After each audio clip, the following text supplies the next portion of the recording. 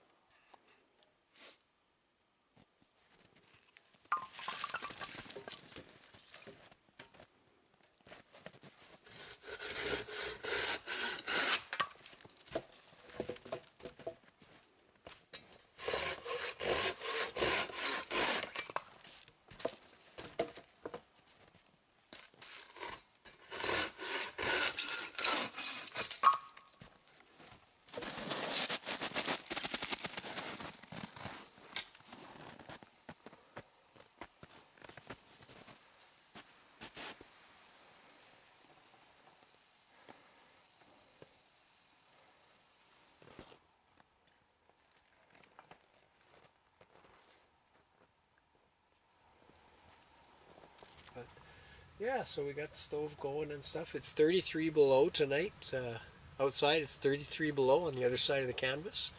We just got back from a walk in the moonlight uh, to a beaver lodge.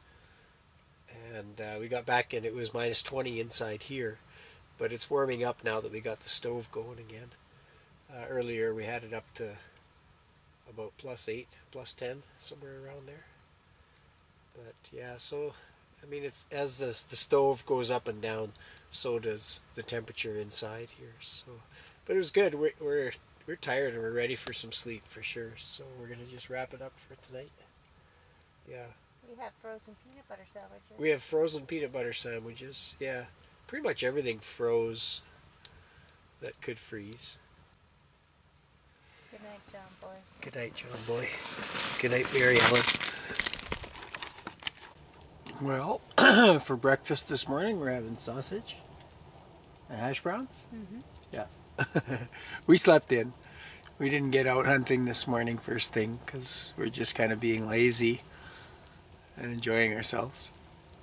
At minus 30, the, the thing with this kind of camping is there's always chores to do, right? There's always tidying to do, organizing, putting on water, putting up firewood. There's just always something going on, so it's it takes energy and stuff. It's a good thing we have food to replenish our internal furnaces. All night, uh, there was coyotes howling and or yipping, and we heard wolves howling too, just to the north of us a little ways. Hey, that was kind of cool. So they weren't too far away. And then this morning Probably there was at the beaver dam we checked out. Probably at the wolf beaver dam, yeah. with the wolf tracks, yeah.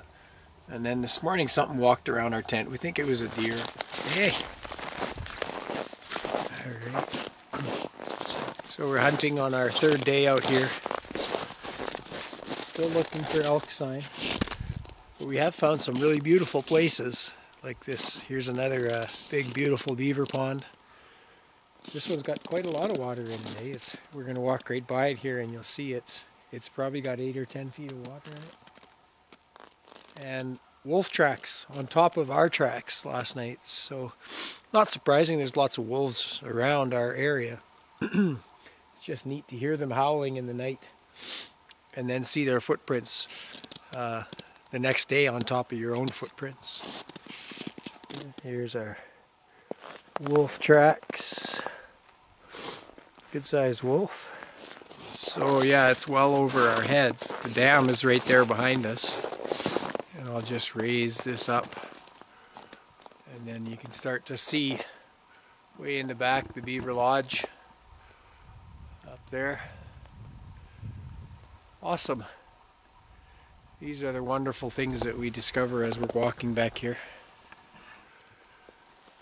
our clothes and our our wool clothes and the mitts and the footwear, everything has been exceptional uh, in cold temperatures. So really good. I haven't had cold feet yet. Uh, I got some cold fingers when I was cutting wood and that sort of thing a little bit and sawing, but uh, other than that, it's been pretty awesome. Colleen's new anorak parka is working out really wonderfully. Woohoo! Thumbs up, except I can't get my Thumbs up, yeah. There. She's bundled up pretty well, so. And then last night when we went out walking to the, in the moonlight to the beaver pond, that was really something. Uh, just gorgeous out there, and I, I wish that we could bottle it up and give it to everybody so you could see what it feels like to experience uh, bitter cold weather on a moonlit night in the forest when it's so quiet and uh, the shadows are cast all over and, and to walk out on the ice and climb up on a beaver lodge. You know those are, are rich and rare experiences. I wish we could just give it to everybody but uh, you'll have to go out and get it on your own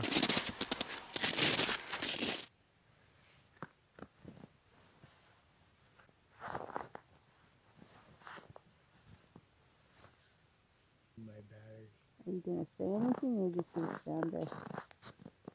It's minus 33. We got a full moon up there, and behind me is one of the biggest beaver lodges I've ever seen. That we've ever seen. And it's beautiful out. It's a clear, crisp night.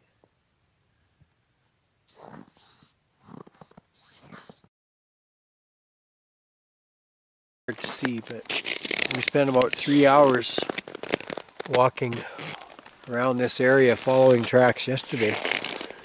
And now we've seen some that were made since we were here yesterday, so so that's good. That's promising. We're in a good area.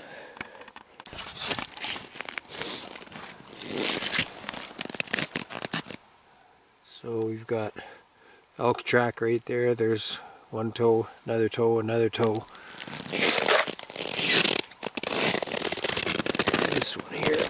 Ah, this one's a little bit bigger too. So there's a few. Oh, there's a good one. There's a few animals here anyway. Right there. So it's time to look with our eyes and listen with our ears. They could be uh, nearby. And here we have Father Christmas. Hey, This I'm is where he goes when he's finished with Christmas. He heads to the bush looking for elk and chaga. and chaga. So we found a nice piece of chaga, first one on the trip. That's a beauty. And we're way back. No one comes back here.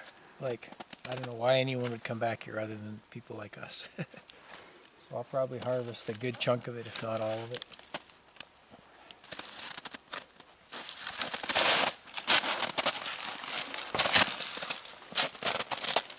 Just drive my knife into the back of it here.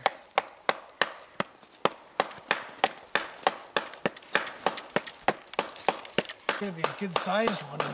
That's tall. Oh, there it comes.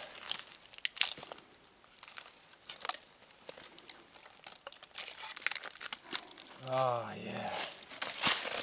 Beautiful. Look at that nice, rich color. There's awesome. Good piece of chaga. A good size, and we'll just leave the rest on the tree and take this one back. So that'll make a lot of pots of tea. Uh, good healthy tea, full of many antioxidants. Uh, its uh, reputation is that it's a real amazing herbal tonic for well a multitude of uses. On the internet, of course, they they tell you it'll cure everything, but uh, it's delicious, and we drink it all the time.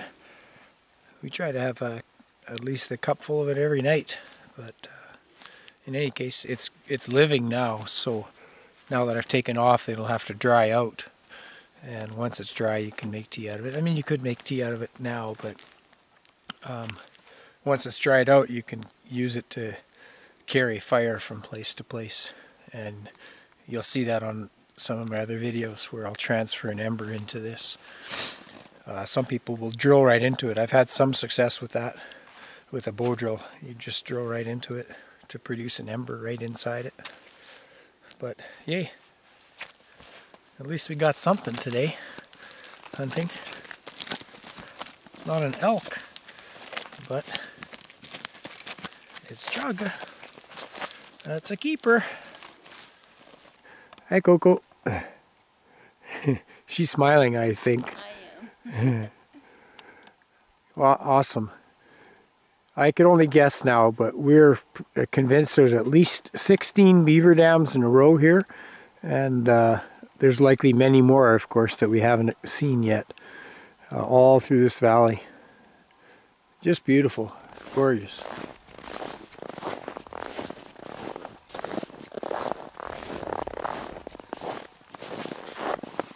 I'm practicing being royalty and walking two steps behind you. Oh, Now that way you fall through the ice and I don't.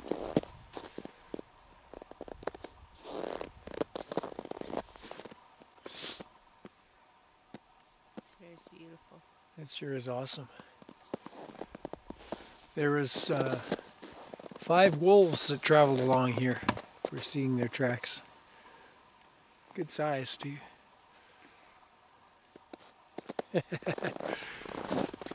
All right. Still no elk though, other than tracks. Lots of tracks. We trailed them for well over two days, probably. I'd say four, maybe five hours of trailing. we haven't seen one yet, but we know we were close behind them.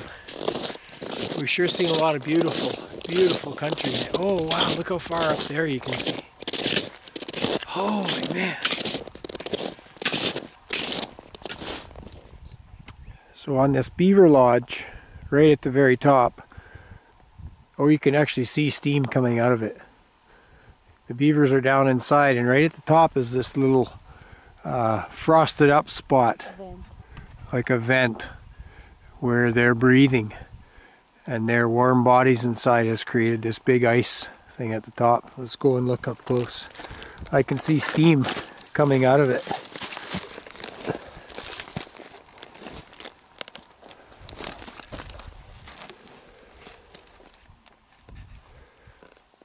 There it is up close and the steam is coming out right out of the center right there. Uh, hello beavers down in there, can you hear us?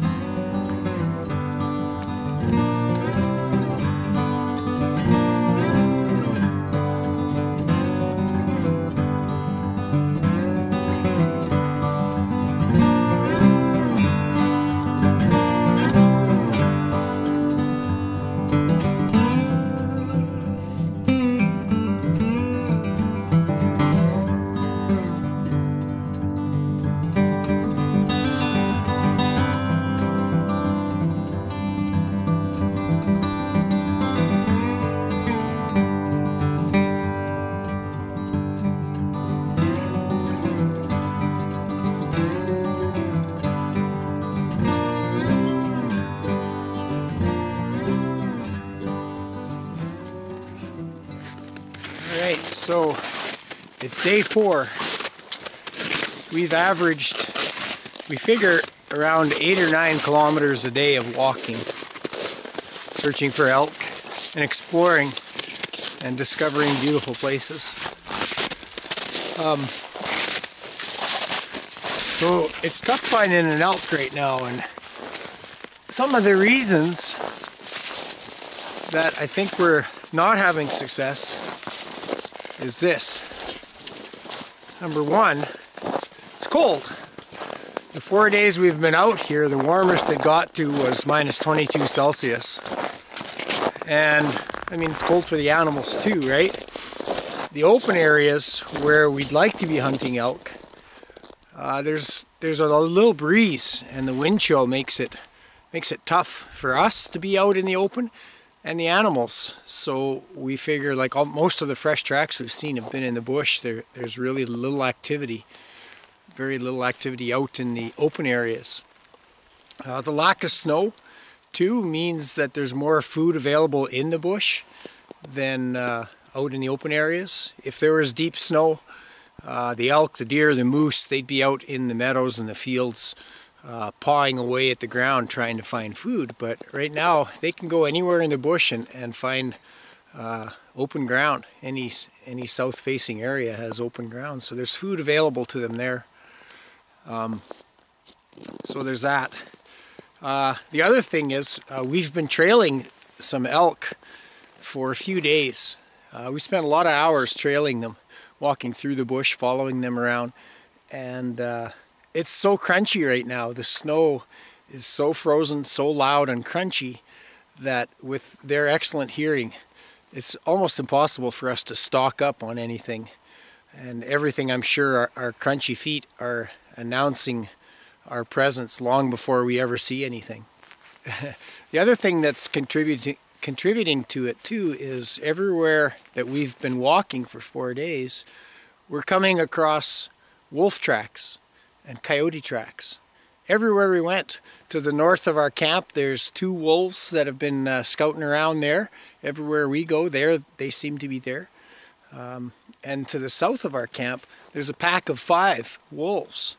So with all the wolves in the area, all the animals are on alert. The elk, the deer, the moose, everything is probably a little wigged out because there's so many wolves right in this area. So, so whatever. Um, we're enjoying ourselves. We could elk hunt like a lot of people do, which is to drive around the countryside on the back roads, waiting to see tracks going into fields, then go and talk to landowners and uh, get permission on their land, drive out in the field and shoot elk. And that's, you know, that's how a lot of people hunt. But then we'd be missing out on all this adventure. We'd be missing out on, on exploring and all the beautiful places and the camping in the tent and, and uh, just uh, the whole rounded experience of winter camping. So this is kind of our preferred mode of travel and, and our preferred way to hunt. Whether we're successful or not isn't the biggest issue. It's whether we've had an amazing time is more important to us. And we're certainly having that. We got uh, one more night here yet. And uh, it's actually supposed to start warming up after we leave. okay, so we just came up on a lone cow elk all by itself. I had it in my sight, but uh, it was running away from me faster than I could have taken a shot. Uh, anyways, it's up this way. And I've got a good line of sight down this cut line. And if we're lucky, it went and hid in a in a well, uh, like a thick spruce bush kind of coulee over there. So we'll get you to walk off over this way a few hundred yards out and just go right through the bush and you can make lots of noise. You don't have to stalk or be sneaky, just kind of trounce your way through. And I'm going to go sit over there and then what you want to do is go out and then angle straight and then end up way up on that hill way back over there as high as we can see. Because I'm hoping it'll squirt out in that little little draw that little valley right there. And I'll be just down here. And if we can squirt it out in front of me then I might get a shot. Okay? All right. So Colleen has uh, gone out there to the left. She's making a big sweeping arc trying to push, hopefully, that cow elk right through this draw that you can see in the camera. And somewhere right in front of me there. And uh, if she can push it out and make it come this way, then I might get a shot. And if it's not even in there, then we get back together and we just keep walking. That's how hunting goes. If we're lucky, it'll work out. If we're not lucky, then we just keep trying somewhere else. well, sun's heading down on uh, day four now. It was awesome. Awesome day. We came close. We had, uh, had the gun sights on an elk today. It was exciting. And again, we saw tracks all over the place. Eh? But, uh, get one, didn't shoot anything. But still, the adventure continues. We're in this amazing place. Right now, we're on this little beaver dam. Look at that guy.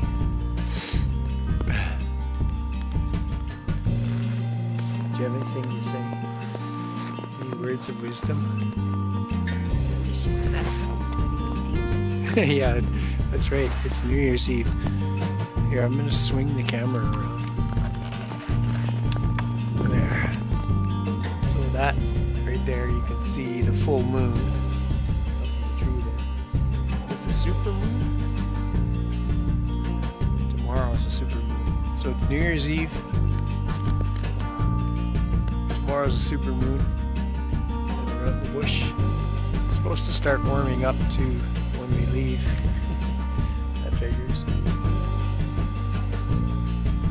We just wanted to take this time to say Happy New Year!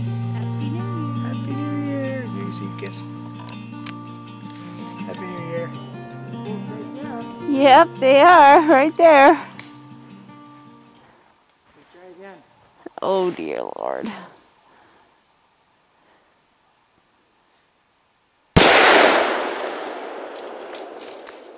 That one went down. Well,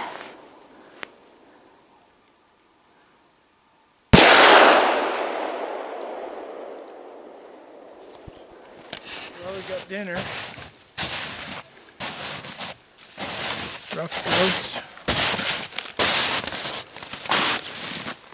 a good sized little grousey.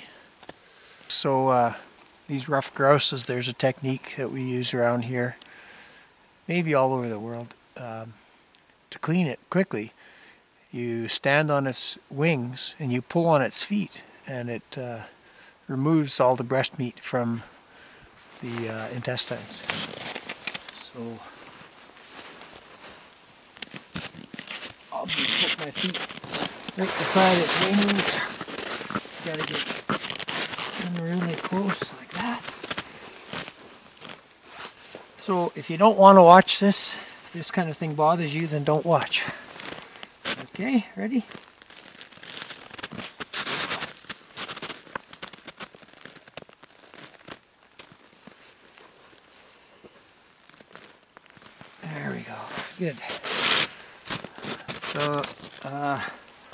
Basically what happened is it left the nice breast meat down here on the bottom with the wings attached.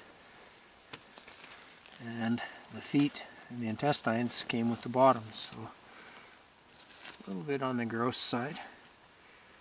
But what was good about that is I went for a head shot and I was able to hit it in the head so didn't waste any of that really nice white meat. Alright, so there's our breast meat. I know it's getting dark, but uh, nice breast meat. That'll make some good food. Uh, if we were in a true bushcraft survival situation, then uh, I would use the intestines and the feathers to bait for other animals if I needed, if we needed more food, but we don't. Uh, we do have tags for grouse. The grouse season is still on for another few weeks, so this was a legal kill and harvesting within the laws of Alberta. And we have an elk tag, so there you go. That's it.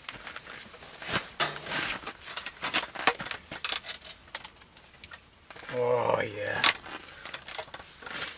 Right on, we're uh, having rough, what are we having? rough, ruffed grouse. and Couscous Couscous with wild mushroom. with wild mushrooms and vegetables. Oh. So the only sad thing is that tomorrow we have to pack up and go. And this has been such an enjoyable few days. I really don't want it to kind of quit. I'd love to just keep hunting like this for like a, until we get it. but the reality is that we have jobs to go back to and And kids. and kids to go back to. well, that's it.